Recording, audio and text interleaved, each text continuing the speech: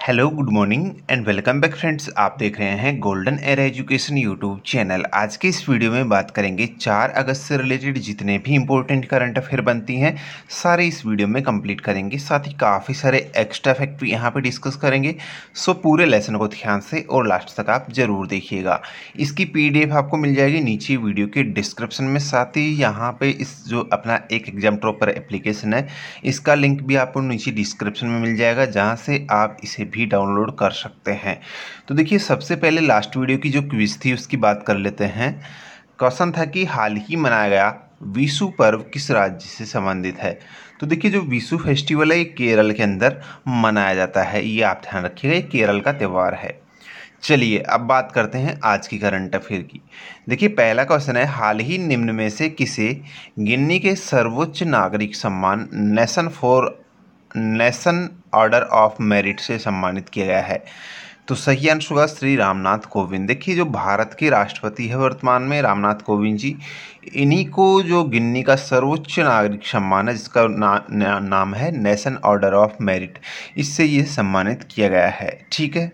देखिए ये जो अवार्ड है ये दिया जाता है कोई भी व्यक्ति जो मतलब कि भारत गिन्नी के बीच में जो आपसी संबंध है उसको बढ़ावा देता है या फिर उसमें सुधार करने का जो कार्य करता है तो उनको जो है ये अवार्ड दिया जाता है, ठीक है? जो कि हाल ही राष्ट्रपति रामनाथ कोविंद जी को दिया गया है, ठीक है? चलिए, यहाँ पे देखिए बात कर रहे हैं हम, यहाँ पे जो गिन्नी है, इसकी बात कर रहे हैं तो इसकी जो कैपिटल है करेंसी वो भी आप ध्यान रख सकते हैं। देखिए, जो गिन्नी है एक अफ्रीकन देश है, जिसकी जो कैपिटल है, वो है क्रॉन के, ठीक है? क्रॉन के जो है, इसकी कैपिटल है, और जो करेंसी है, वो है जो गिन्नियन फ्रैंक जो है इसकी करेंसी है, ठीक है? इतना आप ध्यान रखिएगा। चलिए, अगला क्वेश्चन देख लेते हैं अपना। हाल ही पारित अवैध गतिविधि रोकथाम अधिनियम बिल 2019 के संबंध में कौन सा तथ्य सही है? तो देखिए, यहाँ पे जो ये बिल है, ये इसको जो है हाल ही में राज्यसभा ने जो है मंजूरी दे दी है। फिर ये जो बिल है, ये अवैध अधिनियम अधिनियम रोकथाम, इसको हाल ही जो है राज्यसभा द्वारा पास, पारित कर दिया गया है, ठीक है? और इसका जो उद्देश्य है, वो है आतंकवादी गतिविधियों पर रोक लगाने के मकसद से ही इस बिल को जो है अभी रिसेंटली जो राज्यसभा है, उसने पास कर दिया है, ठीक है? तो आपका ए और बी दोनों ऑप्शन सही है तो आंसर क्या हो जाएगा? उपयुक्त दोनों सही है, ए और बी, ठीक है, इस अधिनियम के संदर्भ में। चलिए, अगला क्वेश्चन देख लीजिए अपना। हाल ही खबरों में रहे पश्मीना के संबंध में कौन सा कथन सही है? तो देखिए, पश्मीना जो है, एक उच्च गुणवत्ता वाली कश्मीरी ऊन है। एक ऊन है हाई क्वालिटी ऊन है, जिसको नाम दिया गया है पश्मीना, ठीक है?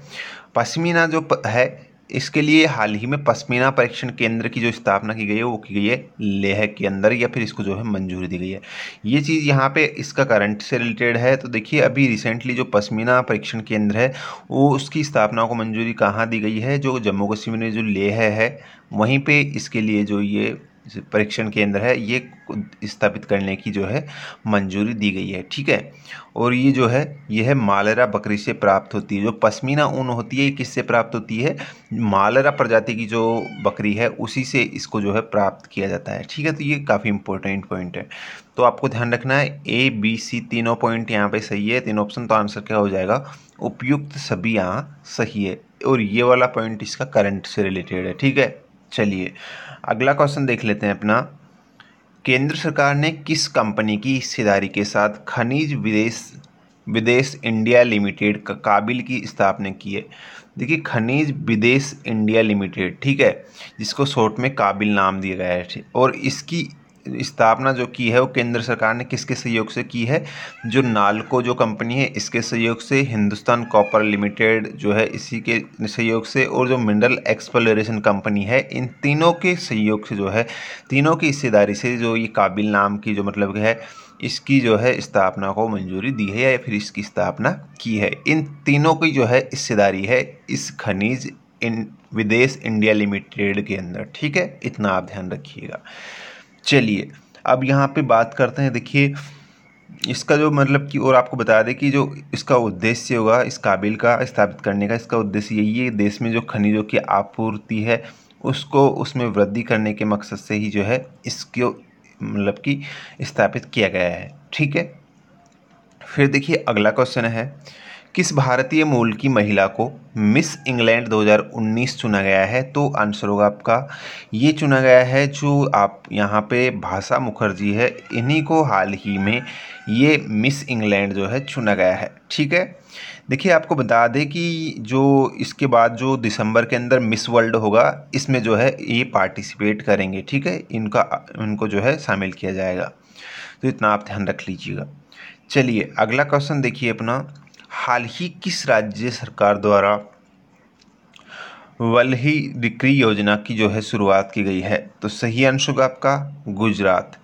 देखिए, जो यहाँ पे वहली ही डिक्री योजना है, ये गुजरात राज्य के द्वारा या फिर गुजरात सरकार के द्वारा शुरू की गई है।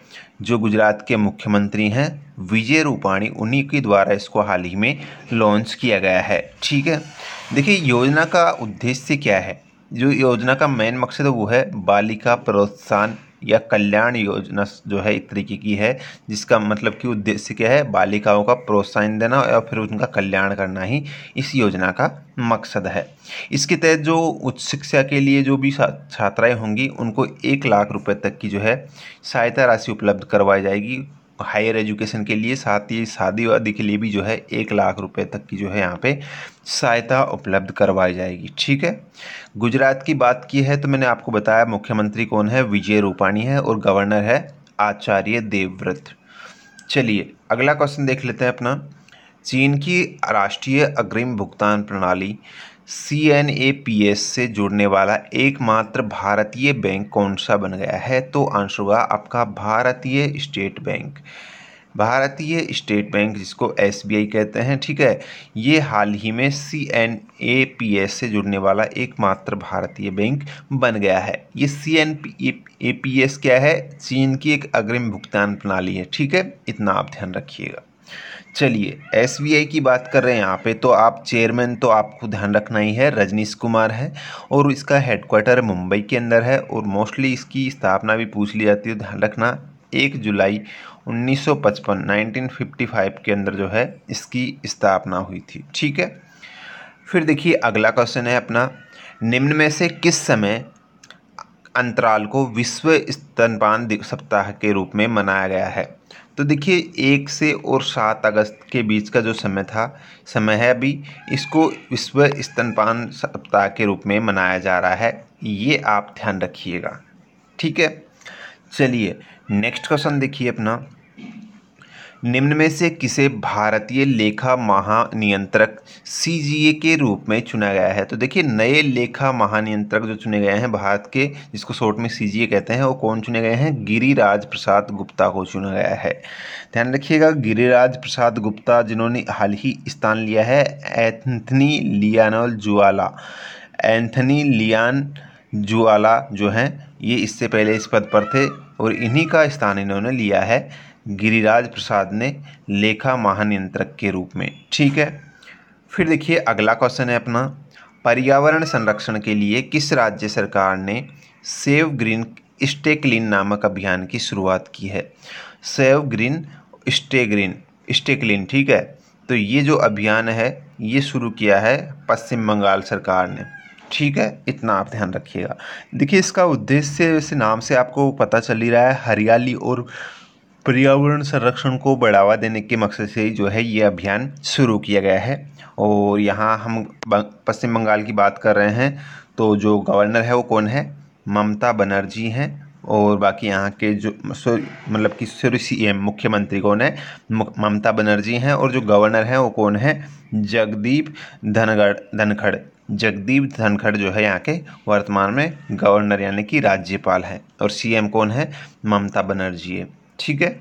चलिए, अब आज की बात क्विज की बात कर लेते हैं। देखिए क्वेश्चन है आज का। विश्व बैंक के मुख्य वित्तीय अधिकारी सीएफओ नियुक्त होने वाली प्रथम महिला कौन है? ये आपको बताना है। मतलब कि जो विश्व बैंक की प्रथम सीएफओ महिला सीएफओ बनी है, वो कौन बनी है, ये आपको बताना है यहाँ पे, ठीक है?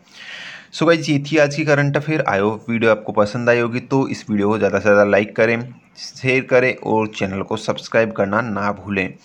साथ ही यहाँ आगे के अपडेट्स के लिए जो बेल आइकन है, इसे ज़रूर दबा लीजिएगा। घंटी बटन से आपको नोटिफिकेशन मिलते रहेंगे सारे वीडियोज़ के।